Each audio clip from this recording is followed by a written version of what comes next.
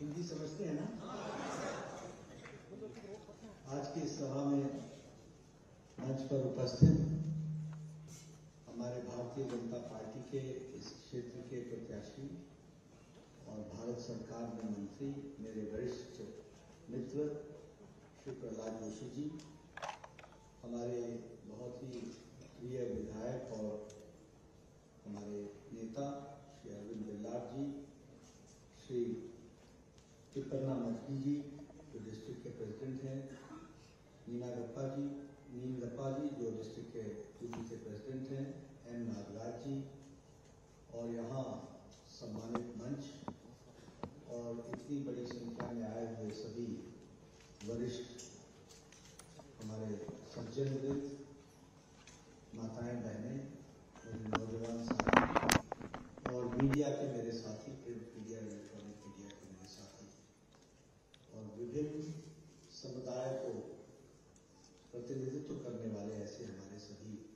गणमान्य सज्जन मेरा यह सौभाग्य है कि मुझे आज आप सबके साथ चर्चा करने का, मिलने का मौका मिला और आप सब लोग इतनी बड़ी संख्या में आए हैं।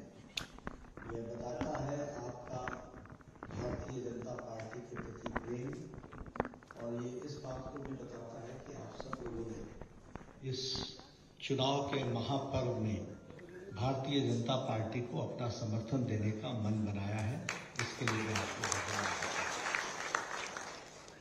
जब मैं कर्नाटक की धरती पर आया हूँ तो मैं एक बात ज़रूर कहना चाहता हूँ कि कर्नाटक की धरती संस्कृति के लिए जानी जाती है, विरासत के लिए जानी जाती है,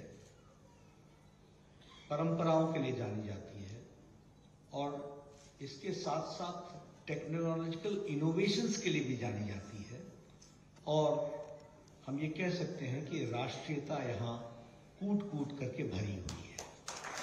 तो ऐसे प्रदेश में मुझे आने का सौभाग्य मिलता है, जहाँ संस्कृति, हमारा कल्चर ट्रेडिशन और उसके साथ साथ लैंग्वेज रिच लैंग्वेज और फिर इनोवेशंस के साथ साथ टेक्नोलॉजिकल दृष्टि से कार्य करने का जो इस प्रदेश का मन है, वो सच में बहुत ही सराहनीय है। आज हम चुनाव की बेला में एकत्र आए हैं और मुझे बताया गया कि मैं आयोजकों को भी धन्यवाद देना चाहूँगा कि लगभग सत्तर से ज़्यादा हमारे विभिन्न समुदाय के लोग आज यहाँ पर आए हैं। आप सबका भी विशेष स्वागत। आज हम जब एकत्र आए हैं तो हम चुनाव के समय आए हैं। और चुनाव के समय आए हैं तो यहाँ बैठे लोगों पर तो मुझे पूरा भरोसा है ही कि आप लोगों ने भारतीय जनता पार्टी को अपना आशीर्वाद देने का मन बनाया है। लेकिन आपके माध्यम से मैं चाहूँगा कि आपके संगठन के लोग, आपके परिवार के लोग आपके पड़ोसी, आपके मोहल्ले के लोग, उनको भी आप भारतीय जनता पार्टी के लिए वोट देने के लिए कन्विंस करें और उनको भी आप भारतीय जनता पार्टी के पक्ष में लाएँ, ये मेरा ज़रूर उद्देश्य रहेगा। और ये चुनाव सिर्फ़ प्रहलाद जोशी का चुनाव नहीं है। यह चुनाव सिर्फ़ प्रहलाद जोशी जी को सांसद बनाने का चुनाव नहीं है। यह चुनाव मोदी जी के नेतृत्व में विकसित भारत के संकल्प को पूरा करने का चुनाव है how to see developed nation how to see developed India how to come in to the developed category is the mission of this election of 2024. और जब मैं ये कहता हूँ तो सिर्फ़ कहने के लिए नहीं कहता हूँ। देखिए, आज हम बड़े सौभाग्यशाली हैं। We are very lucky that in the past ten years the political narrative and the political culture has changed दस साल पहले क्या आप बोलते थे? ये तो ऐसे ही चलेगा। यहाँ कुछ नहीं बदलने वाला। Nothing is going to change. All politicians are corrupt. क्या फ़र्क पड़ता है? किसी को भी चुन लो। सिचुएशन तो वही रहेगी। तो नरेशन जो था, वो नेगेटिव था। नरेटिव जो था, वो नेगेटिव था। और पॉलिटिकल पार्टी और पॉलिटिकल लोगों के लिए भी वो नेगेटिव था। कुछ नहीं बदलने वाला। आज मोदी जी के नेतृत्व में देश इतना बदल गया है और पॉलिटिकल नैरेटिव इतना बदल गया है कि नहीं बदल सकता है, बदल रहा है, बदल गया है, इस तरीके की बात और इसीलिए आज जब संकल्प हम विकसित भारत की ले करके चलते हैं तो लोग उसको विश्वास करते हैं। और अब नरेशन क्या बना है? कि यह मोदी की गारंटी है कि गारंटी पूरी होने की गारंटी है। नहीं तो एक समय नरेशन क्या था? नेता आते हैं, भाषण देते हैं, वादे करते हैं भूल जाते हैं, अगले चुनाव में नए वादे लेके आ जाते हैं। लेकिन अब नरेटिव क्या है? मोदी की गारंटी है तो गारंटी पूरी होने की गारंटी है। This is the difference political culture change हो गया पॉलिटिकल डेफिनेशन चेंज हो गया पॉलिटिकल साइज़ चेंज हो गया। पहले क्या था? पहले था, मैं आपको इसलिए याद दिला रहा हूँ कि डार्क डेज़ अगर आपके ध्यान में हो तो ब्राइटर डेज़ की वैल्यू समझ में आती है। अगर डार्क डेज़ भूल जाइएगा तो ब्राइटर डेज़ की वैल्यू समझ में नहीं आती। पहले क्या था? भाई को भाई से लड़ाओ कास्ट को कास्ट से लड़ाओ कम्युनिटी को कम्युनिटी से लड़ाओ। रिलीजन को रिलीजन से लड़ाओ। वोट बैंक की राजनीति करो। और बाद में जब सरकार बन जाए तो अपनी जाति की सरकार बना लो, अपनी कम्युनिटी की सरकार बना लो, अपने समाज की सरकार बना लो। बाकी सब जाए जहाँ जाना है। Was this not the trade at that point of time दस साल पहले ये ट्रेंड था कि नहीं था? आज मोदी जी के नेतृत्व में डेवलपमेंट अकाउंटेबिलिटी विकास, जवाबदेही pro responsive proactive governance report card की राजनीति, जो कहा था, वो किया है, जो नहीं कहा था, वो भी करके दिया है, ये रिपोर्ट कार्ड की राजनीति तो आज राजनीति बदल गई, और राजनीति का तौर, तरीका, ढर्रा सब मोदी जी ने बदल दिया, और इसीलिए आज हम ये कह सकते हैं कि इनकी बौखलाहट, इनका फ्रस्ट्रेशन हमारे विरोधियों का फ्रस्ट्रेशन बौखलाहट और मूल मुद्दे से भटकने का तौर तरीका बन गया है।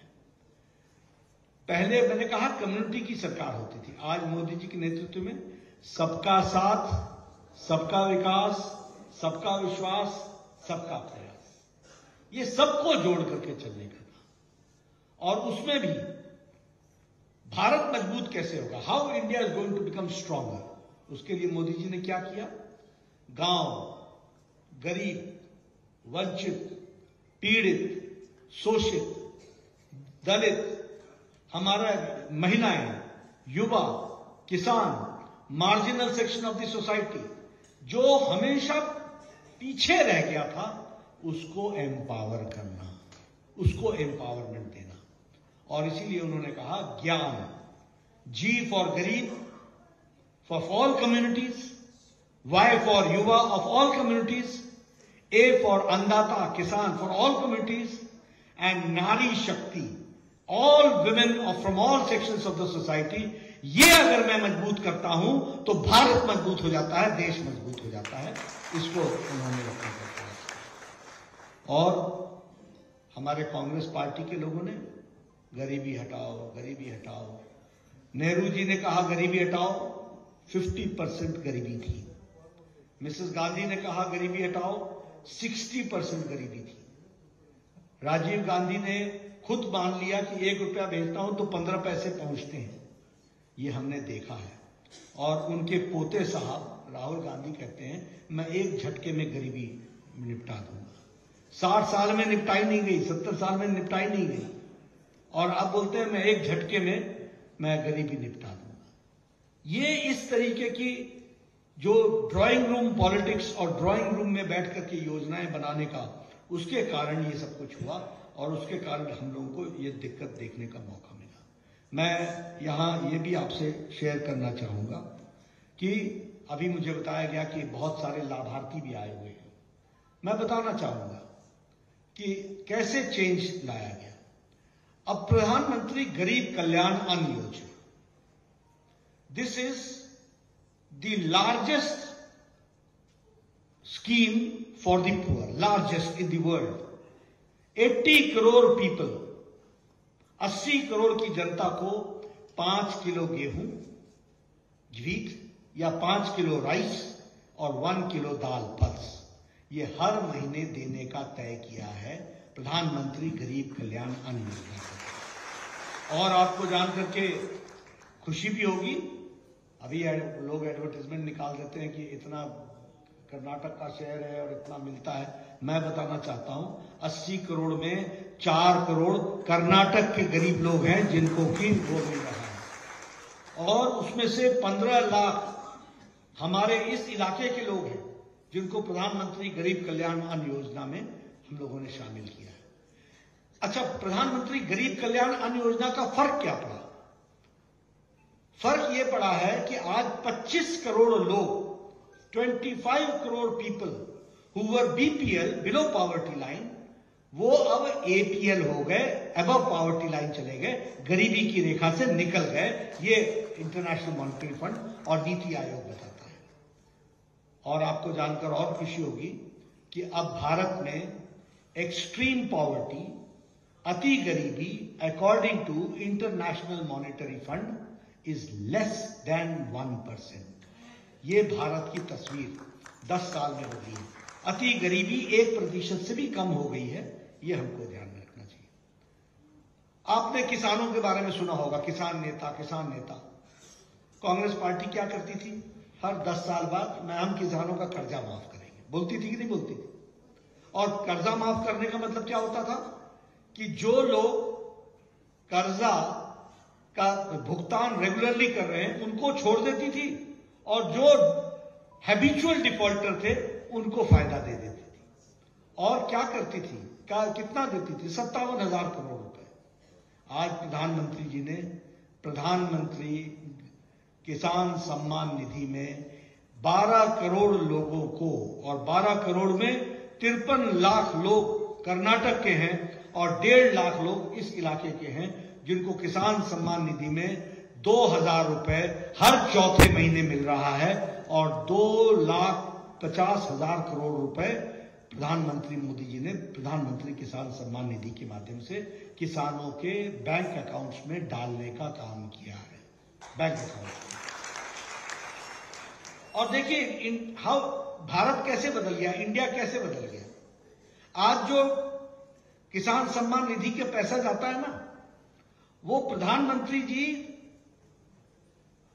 किसी कार्यक्रम में बटन दबाते हैं और 20 सेकंड्स के अंदर 20 टू 30 सेकंड्स के अंदर 12 करोड़ लोगों के अकाउंट में डिजिटली पैसा ट्रांसफ़र हो जाता है। दिस इज़ चेंजिंग इंडिया ये बदलता भारत है कि आप बटन दबाते हैं और 12 करोड़ लोगों के खाते में 20 से 30 सेकंड के अंदर उनके खाते में बैंक अकाउंट्स में पैसा चले जाता है। दिस इज़ डिजिटल इंडिया अब जल जीवन मिशन की बात करें 11 करोड़ लोगों को हर घर नल, हर घर जल पहुँचाया गया। ये विमेन एम्पावरमेंट हुआ, महिलाओं का एम्पावरमेंट हुआ। और उसमें भी मैं बताना चाहूँगा कि इक्यावन लाख टैप कनेक्शन कर्नाटक में दिए गए और आपके इलाके में डेढ़ लाख टैप कनेक्शन दिए गए, ये हम आपको बताना चाहते हैं। आज देखिए कितना बदल गया भारत।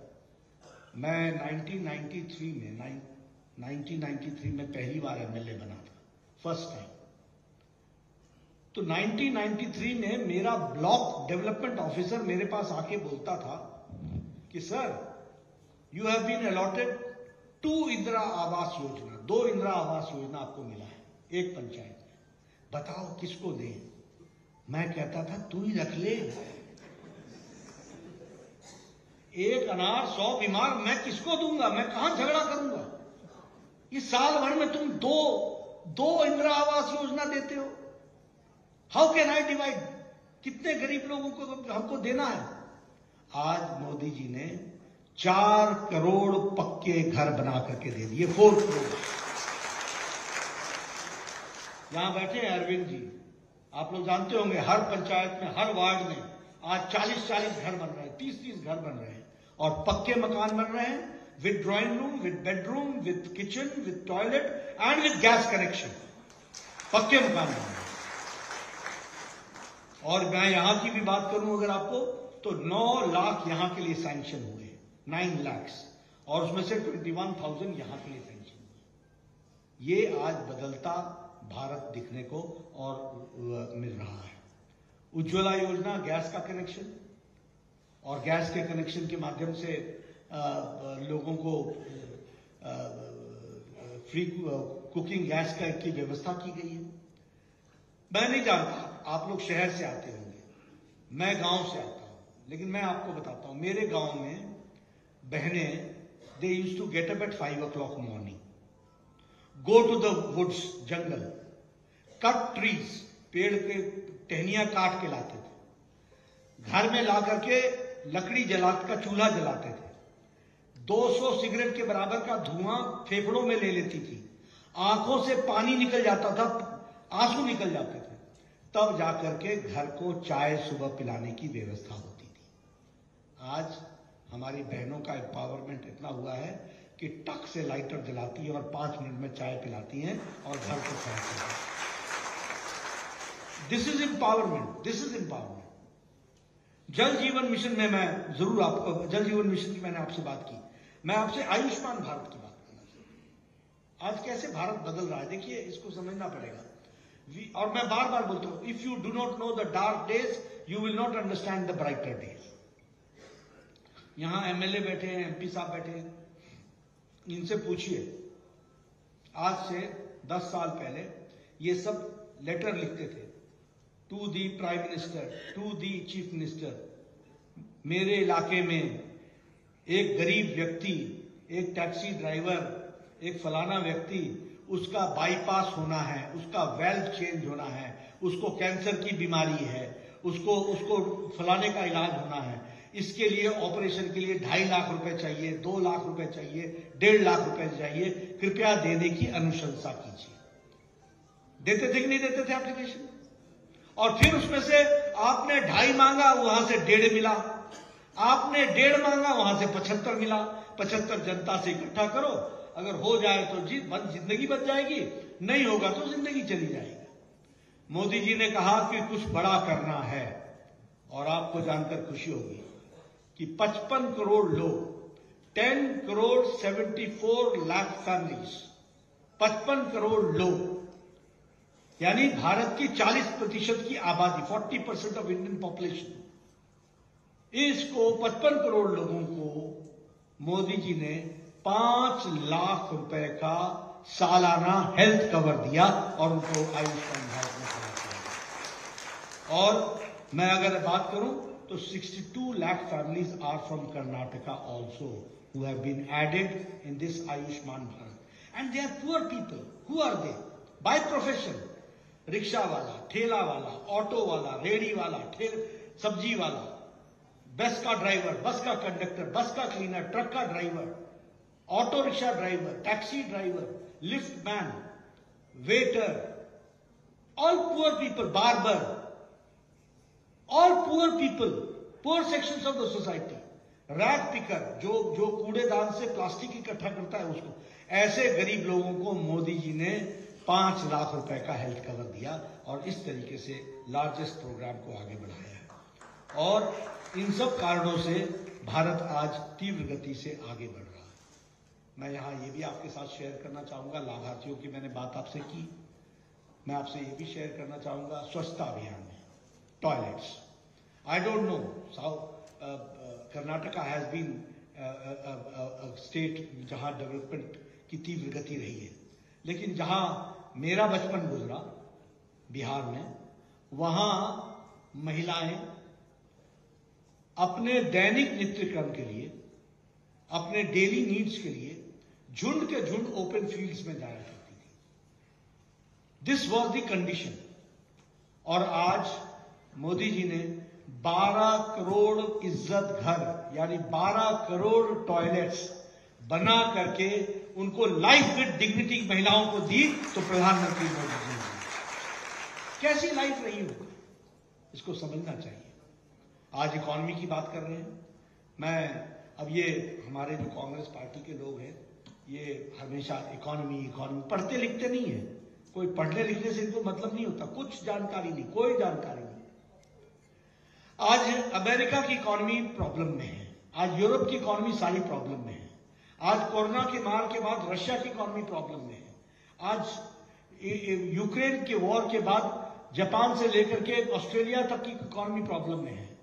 लेकिन स्टेनली मॉर्गन स्टेनली की रिपोर्ट बताती है और इंटरनेशनल मॉनिटरी फंड भी बताता है कि अगर कोई ब्राइट स्पॉट है तो वो इंडिया है, जहाँ आज इकॉनमी हमारी इकॉनमी मोदी जी के नेतृत्व में इलेवेंथ पर खड़ी थी यूपीए के टाइम में, इलेवेंथ पोजीशन पर।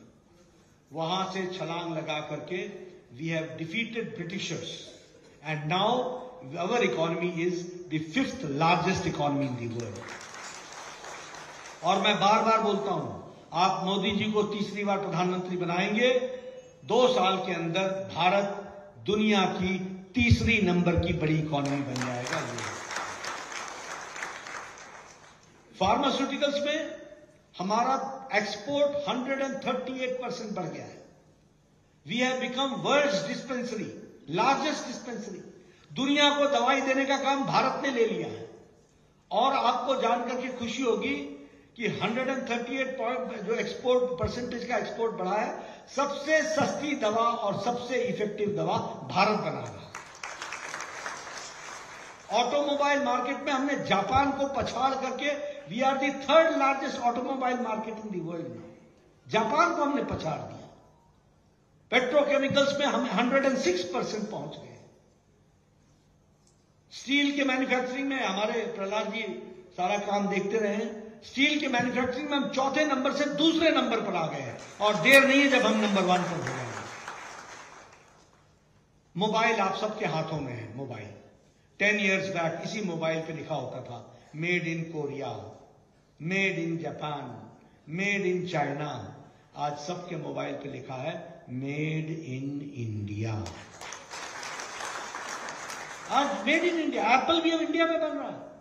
We are the largest 97 percent of manufacturing of mobiles being done in India ये बदलता भारत है, जिसको हमको समझना पड़ेगा। टॉय एक्सपोर्ट्स में आज हम दूसरे नंबर पर ढाई गुना हमारा टॉय एक्सपोर्ट्स बढ़ गया। देखिए क्या विडंबना थी। कि दीपावली में हमारा गणेश भी चाइना से आता था। हम चाइना के गणेश को दिवाली में पूजा करते थे। आज टॉय इंडस्ट्री में हम थर्ड लार्जेस्ट टॉय इंडस्ट्री हो गए और ढाई गुना हमारा एक्सपोर्ट बढ़ गया। इसको भी हमको ध्यान में रखना चाहिए। अभी बहुत सी चर्चाएँ हुई हैं। मैं कर्नाटका की फंडिंग के बारे में भी बताना चाहूँगा। कर्नाटक की फंडिंग एलोकेशन जो है वह चार गुना बढ़ गई है। Four times it has been increase Karnataka की फंडिंग और उसी तरीके से हमारा जो सेंट्रल से ग्रांट इन एड है, वह भी तीन गुना बढ़ गया है। उसको भी हमको ध्यान में रखना चाहिए। अभी बहुत से डेवलपमेंट की बात हमारे प्रहलाद जी ने बताई है आपको। लेकिन PM Mitra mega textile park Kalaburagi में वो बन रहा है।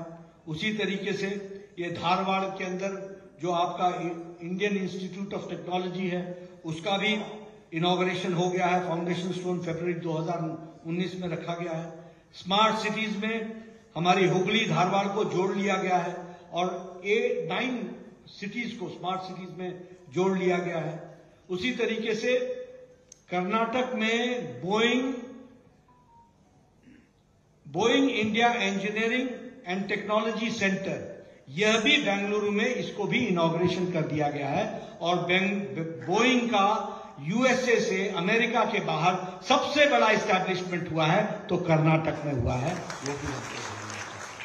उसी तरीके से लार्जेस्ट हेलीकॉप्टर इंडियन हेलीकॉप्टर का मैन्युफैक्चरिंग की फैसिलिटी जो है, वो भी टुमकुर में उसको भी इस्टेब्लिश किया गया है। और एक्सप्रेस वेज के बारे में तो बात हुई ही कि Bangalore Chennai express way Bangalore ring road, Solapur Kurnool Chennai corridor, ये सारी चीज़ें बढ़ाई गई हैं। रेल बजट आपका फोर टाइम्स एनहेंस कर दिया गया है और उसको भी विकास के साथ जोड़ा गया है। लॉन्गेस्ट रेलवे प्लेटफॉर्म तो आपके पास ही है। दुनिया की। तो आप समझ सकते हैं कि किस तरीके से। उड़ान में बेलगाम, हुबली, मैसूर, विद्यानगर, कलबुर्गी, बीदर, शिवमोगा ये सारे को, सारे एयरपोर्ट्स को जोड़ दिया गया है। तो we have worked on as prime minister Modi says on हीरा ही हीरा means H for highways I for internet R for railways and A for airways ये हाईवेज एयरवेज इंटरनेट रेलवेज सबको बढ़ाने का काम किया है तो उसको उस तरीके से बढ़ाया गया है। और मैं यहाँ ये भी कहना चाहता हूँ कि रिलीजियस टूरिज़्म को भी बढ़ावा दिया गया है, उसको भी आगे लाने का काम किया गया है। आगे हम लोगों ने तय किया है कि लगभग तीन करोड़ प्रधानमंत्री आवास योजना अगले पाँच साल में और बनाई जाएँगे, ताकि कोई बिना पक्की छत के न रहे। प्रधानमंत्री गरीब कल्याण अन्न योजना अगले पाँच साल चलती रहेगी। प्रधानमंत्री किसान सम्मान निधि अगले पाँच साल तक चलती रहेगी। और हमारे प्रधानमंत्री जी ने फैसला लिया है कि हम सेल्फ हेल्प ग्रुप्स के माध्यम से तीन करोड़ दीदियों को लखपति दीदी बनाएँगे। Their income will be more than a lakh rupees इस बात के लिए हम प्रयासरत होंगे। इसको काम करेंगे। आयुष्मान भारत योजना में आपको जानकर खुशी होगी कि ट्रांसजेंडर्स को and all sections of the society everybody जिसकी उम्र 70 साल से ऊपर है उसको पाँच लाख रुपए का हेल्थ कवर दिया जाएगा। इस तरीके का कार्यक्रम आयुष्मान भारत में लिया गया है। और इसी तरीके से महिलाओं के लिए जैसे मैंने कहा कि तीन करोड़ लखपति दीदी बनेंगे। किसानों में पल्सेज और दाल को पल, पल्सेज को और एडिबल ऑयल्स को हम आत्मनिर्भर बनाएँगे। इस तरीके से हम कार्यक्रम को आगे बढ़ाएँगे। मैं यहाँ जब आपसे ये सारी बातें कर रहा हूँ विकास की तो मैं अंतर्राष्ट्रीय जगत की भी आपके साथ एक बात कर लेता हूँ। और वो बात ये है, जो समझने योग्य है, कि भारत आज दुनिया के हर इंटरनेशनल प्लेटफॉर्म का सदस्य है। India is the member of all international forums may be G seven may be G twenty may be other group, squad की बात हो, कोई भी कोई भी ब्रिक्स की बात हो, सब में भारत है और भारत की नुमाइंदगी है। और भारत की नुमाइंदगी नहीं है, भारत की प्रोएक्टिव नुमाइंदगी है और दुनिया सुन रही है, इस बात को हमको समझना चाहिए। लेकिन सबसे इंटरेस्टिंग बात यह है कि अंतर्राष्ट्रीय भाषा में जब भी कोई अंतर्राष्ट्रीय देश भारत पर कमेंट करता था तो हमेशा उसके शब्द होते थे India and Pakistan India and Pakistan यानी इंडिया को पाकिस्तान से अलग देखने का दुनिया का नज़रिया ही नहीं था। आज मोदी जी के नेतृत्व के कारण कोई भी अंतर्राष्ट्रीय भाषा में इंडिया के साथ पाकिस्तान को नहीं जोड़ता। इंडिया इंडिया हो गया पाकिस्तान रह गया जहाँ रहना था यह परिस्थिति आ सकती तो इसलिए देश हो सर्जिकल स्ट्राइक मैं पहाड़ से आता हूँ बॉर्डर स्टेट से आता हूँ।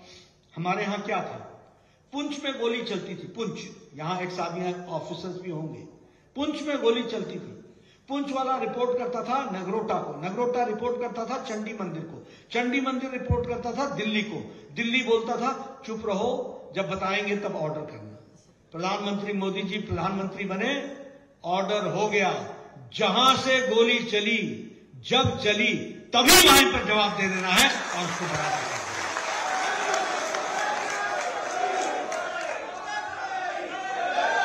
ये फ़र्क है, ये फ़र्क है। हमारे हमारे फौजी भाइयों के हाथ बाँध दिए थे।